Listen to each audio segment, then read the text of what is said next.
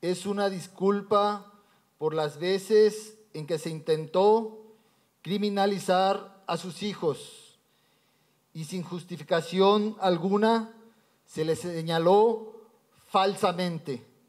Que quede muy claro, Bernardo, José, Susana, José Alfredo y Mario, y Mario Arturo eran inocentes y nunca debieron vivir los hechos que sufrieron.